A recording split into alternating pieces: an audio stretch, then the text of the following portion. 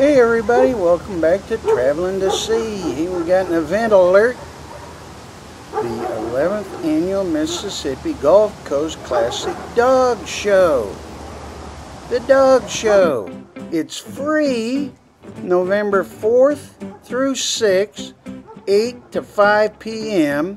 out at the county fairgrounds, Harrison County.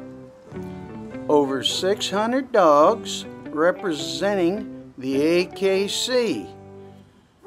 This is one you don't want to miss. The kids are going to love it, as will you. It's free November 4th to the 6th, 8 to 5. Check it out. And you can click below to see other events. God bless.